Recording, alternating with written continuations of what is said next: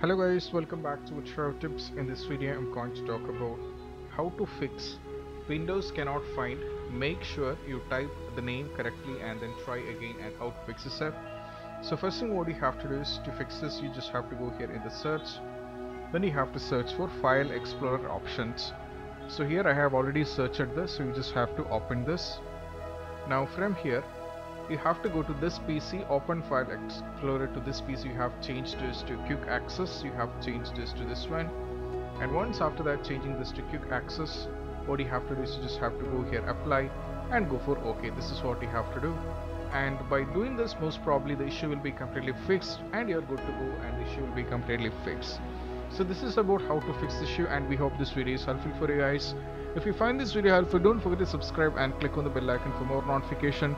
See you soon in the next video. Peace out